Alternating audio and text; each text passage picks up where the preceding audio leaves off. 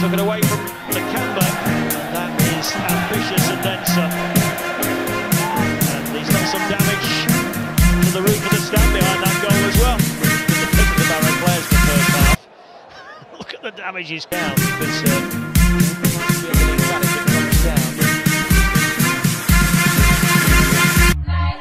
Thanks for watching. Subscribe my channel for more videos.